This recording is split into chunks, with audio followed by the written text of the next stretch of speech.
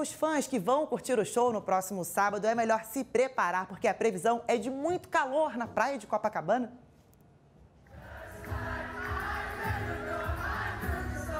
Madonna vai esquentar Copacabana. Não que precise. A rainha do pop chegou na cidade maravilhosa praticamente junto com a quarta onda de calor dos últimos meses. A Madonna vai ter noção dessa temperatura no dia do show ali, aí, que ela vai ver o que é calor. Aquela foto que viralizou dela na janela, a cara dela não estava muito boa não, ela estava inclusive olhando para o palco pensando, meu Deus, como é que eu vou passar som e ensaiar embaixo desse calor. A equipe toda da cantora está hospedada no Copacabana Palace. No sábado, a temperatura deve beirar os 40 graus.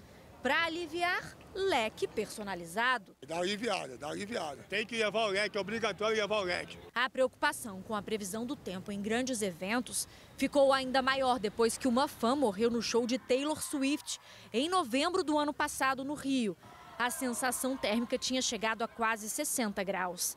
Desta vez, a distribuição de água está garantida e postos de atendimento vão ser montados na orla. Com a brisa do mar à noite, as temperaturas tendem a ficar mais amenas aqui na praia de Copacabana, onde Madonna encerra a turnê mundial. Mas quem quiser chegar cedo para garantir aquele lugarzinho mais perto do palco, vai encarar um solzão desses. A dica é buscar sombra e água fresca e guardar energia para quando for a hora de curtir os hits de uma das maiores estrelas da música.